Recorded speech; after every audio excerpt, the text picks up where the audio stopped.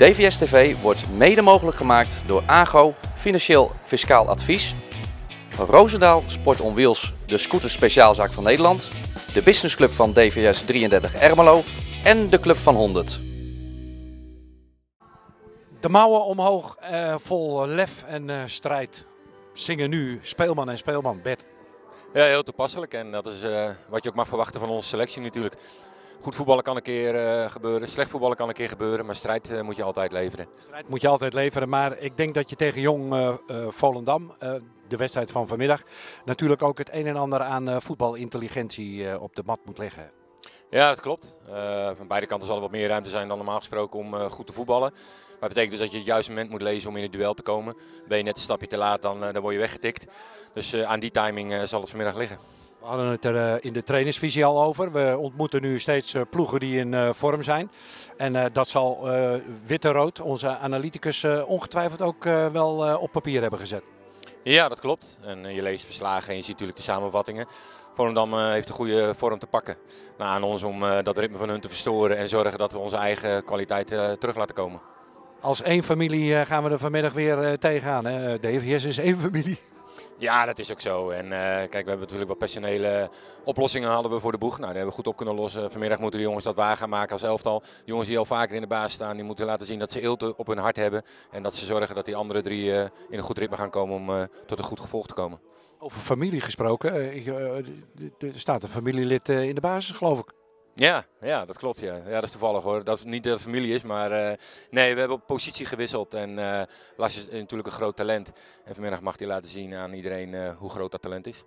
Moet hij eigenlijk de positie van Niels Buitenhuis innemen? Ja, de positie wel, maar hij heeft wel duidelijk andere kwaliteiten dan wat Niels heeft. Dus nou, dat weten de jongens ook, maar je traint al heel lang met elkaar, we voetballen heel lang met elkaar.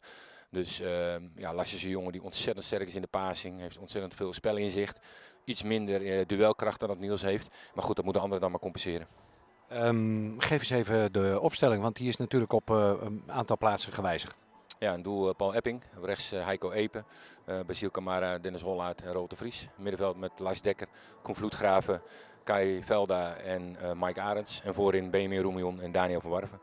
En wisselt Mike wel eens met de teampositie met Daniel ook? Ja, dat principe mogen ze zelf invullen. Met z'n drieën moeten ze die, die posities eh, bekleden. Omdat ja, de manier waarop we spelen, eh, is een speler wel eens weg. Hè? De diepte in, in, in de hoeken. Nou, dan moet een ander het even compenseren. Maar met z'n drieën mogen ze dat oplossen.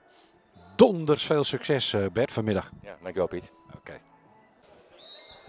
Ja, daar heeft de fluitscheidsrechter voor de eerste keer van de Burg wedstrijd begonnen.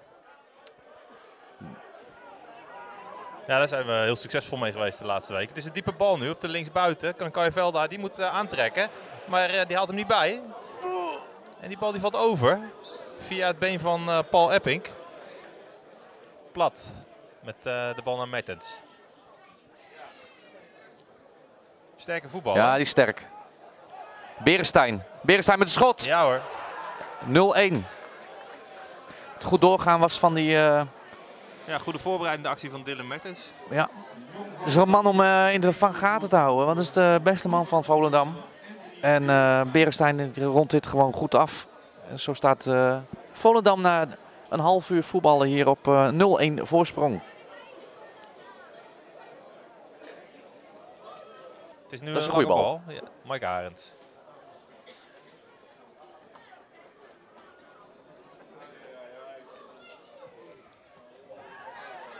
Is dat, Nou, eh, zeker geen ens hoor. Hij gaat alleen. Oh, prachtige actie hoor. Handige actie.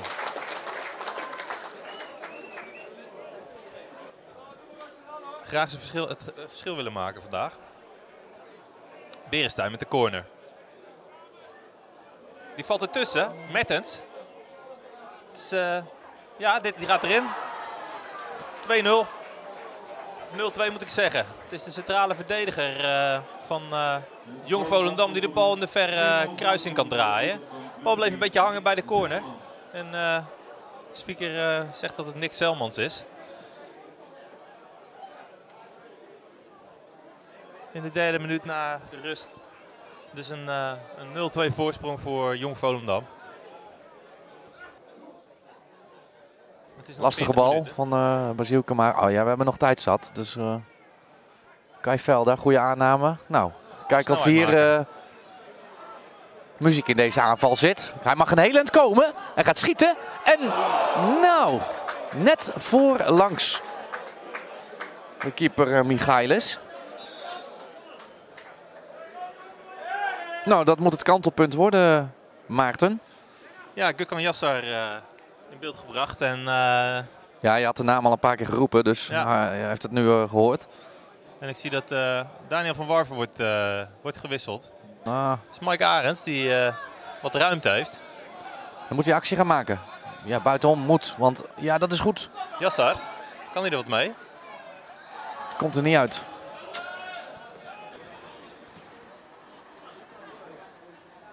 Nou dan. Ja, is Ja, die valt erin. Ja, 1-2. De aansluitingstreffer.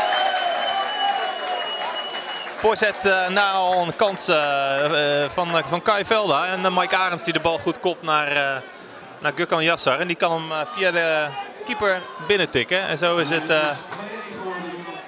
1-2 voor eh 1-2 geworden in de 29e minuut. En dan hebben we nog een kwartier om kijken wat er gaat gebeuren. Nou, kijken of het publiek erachter gaan staan. Het begon eigenlijk met die fout van die verdediger van Volendam. Lekkere doorgaande Basiel Camara. Heiko Epe. Been van Berenstein ertussen. Daar is Lars voor de eerste keer. De Lars Benjamin Roemion. Ja, dat neergelegd en het wordt een penalty. En waarschijnlijk eh, de rode kaart rode inderdaad. kaart. Betty. Betty of Betny? En Betty eh, mag douchen.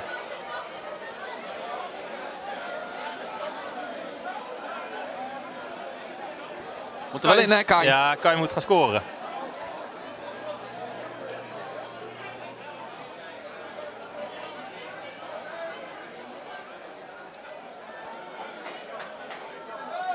Wat denk jij? Waar gaat hij hem schieten, André? Links. Ah, als hij hem er maar in gaat. Gewoon hard door het midden. Als hij maar langs die keeper in het netje rolt. Dat is het belangrijkste. Nou, kom op. Komt hij. Oh! Ai. Dit is een slecht moment om een penalty te missen, zeg. Grotere mogelijkheid hebben we vanmiddag nog niet gehad. Maar die keeper die heeft hem eh, wel te pakken, die Michailis.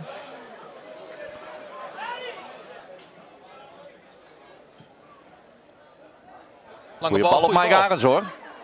Ja, die bal valt er bijna in, eh, Maarten. Ja, via een been Keeper van, moet eh, van Volendam.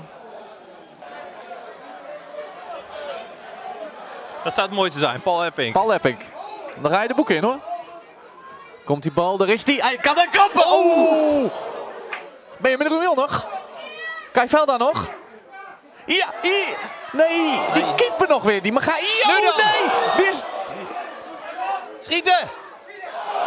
Het aanval loopt nog steeds door. Maar er is iemand van DVS geraakt. En dat is eh, de nummer 18 op zijn hoofd, maar die staat.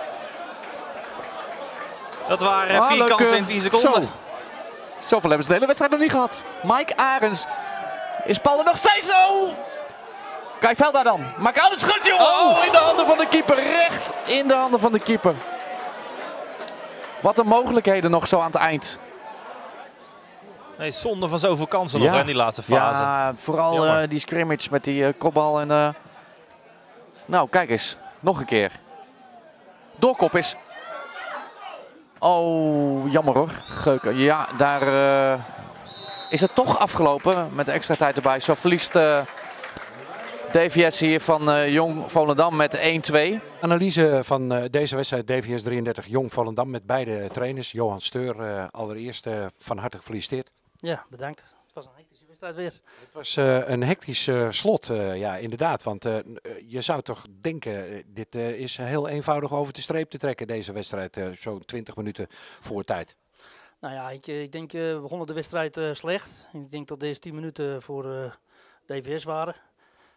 Daarna pakten we het heel goed op en hebben we eigenlijk ja, prima gespeeld. Nou, dat resulteerde ook in 2-0. Ja, de tweede helft dan moeten we eigenlijk de derde maken. Nou, die was voor een open doel. Nou, die werd gemist en uh, ja, meteen erop werd het 2-1. Ja, en dan weet je het. En dan gebeuren er rare dingen in de voetballerij. en pompen. En eh, ja, dan krijgen we het gewoon lastig. Penalty tegen, een mannetje minder. Nou, de keeper haalt maar uit. Dus dat was voor ons gunstig.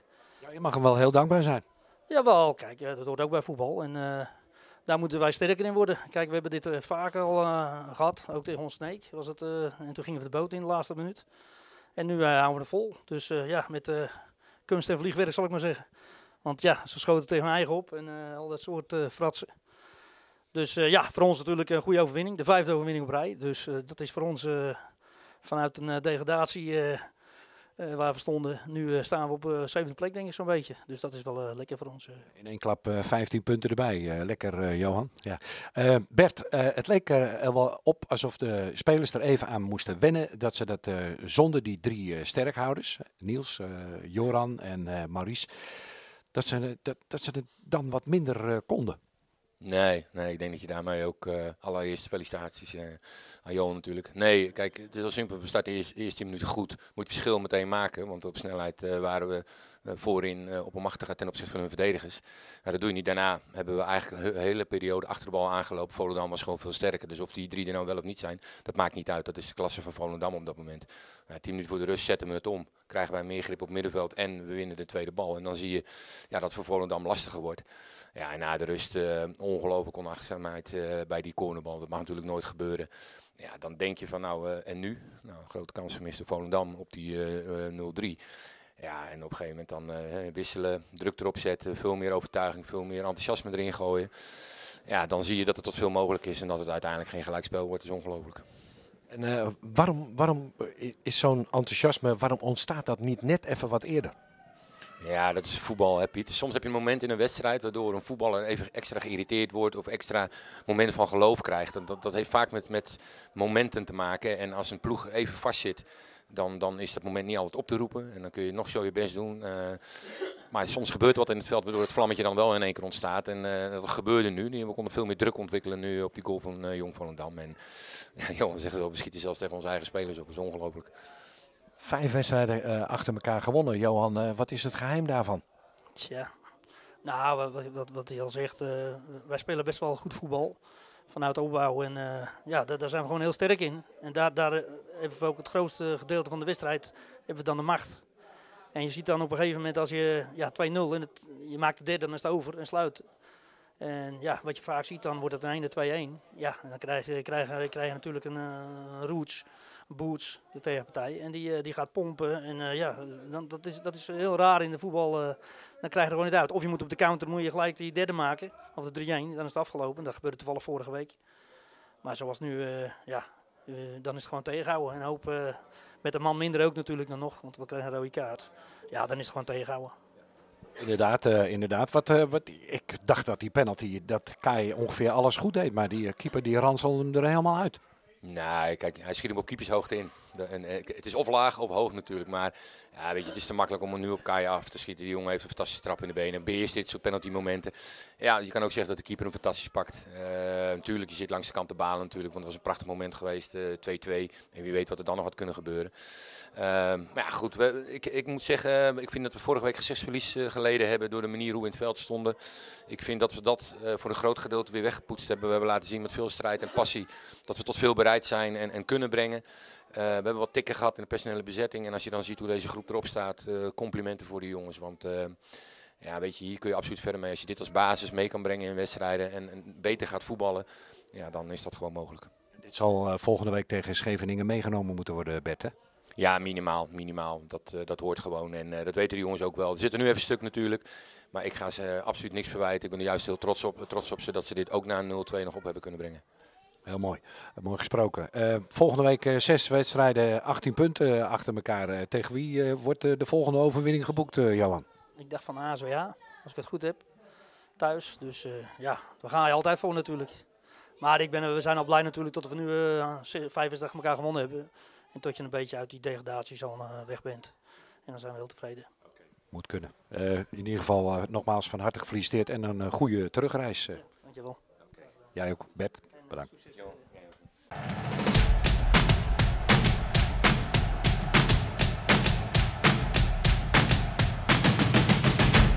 DVS TV wordt mede mogelijk gemaakt door AGO, Financieel Fiscaal Advies, Roosendaal Sport on Wheels, de scooter speciaalzaak van Nederland, de businessclub van DVS 33 Ermelo en de Club van 100.